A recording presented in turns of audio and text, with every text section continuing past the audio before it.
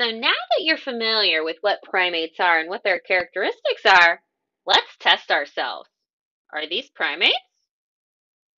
Here's the first one. Take a moment. Do you think this is a primate? If you answered yes, you are correct. This is Coquerel's sifaka, Propithecus coquereli. This is a lemur that lives in Madagascar.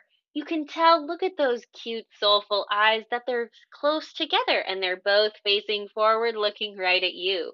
You can also see there's a little hint of an opposable thumb there. Even though this guy has a little bit of a longer nose, it's not nearly as long as, say, a dog. Next up, is it a primate?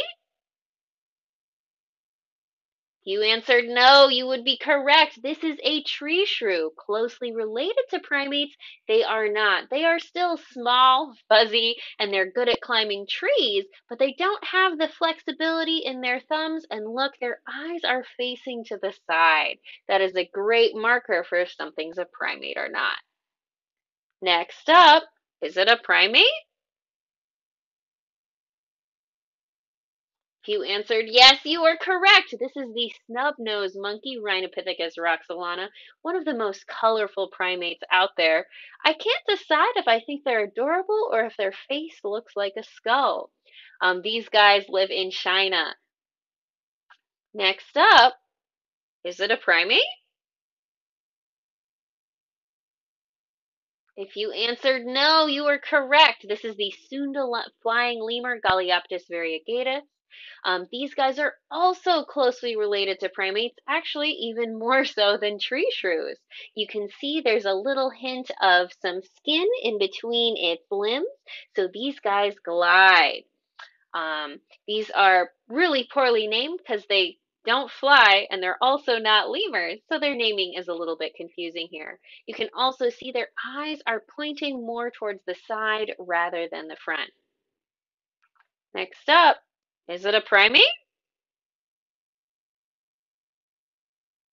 You said yes, you're correct. This is the owl monkey. There are a couple different species of owl monkeys in genus Aotus. They live in South America. These are one of my favorite ones. I love their glowing orange eyes. As you can see, they live in the night, and their babies are oh so adorable. Are these primates? Of course they are. So this is Shaq holding the pygmy mouse lemur. You can see just how small it is. And look, it gets better. This is one of my very favorite things. I don't know why Shaq did this photo shoot, but I am thankful. Thank you, Shaq. Is this a primate? Or is it a little demon baby? Even though it looks like a demon baby, it is a primate. This is the aye-aye, Daubentonia madagascariensis, widely known as the creepiest primate out there. These guys, you can see they have an elongated middle finger that they use to tap on tree bark to find insects that, and specifically termites that they like to eat.